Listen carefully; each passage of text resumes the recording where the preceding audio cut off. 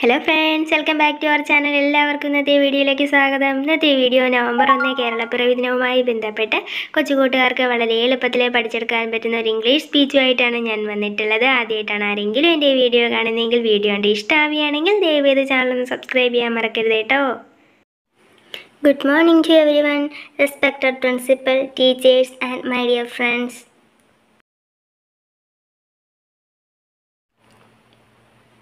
I wish every Malayali a very happy Kerala Piravi.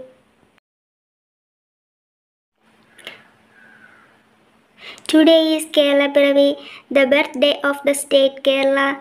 The state was formed on November 1st, 1956. Kerala is also known as the God's own country and the official language is Malayalam. Malayalis from around the world celebrate November 1st as Kerala Piravi.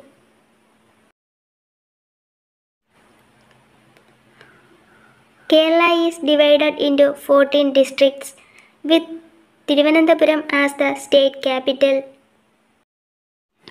Here I requested all of you to follow our culture and traditions.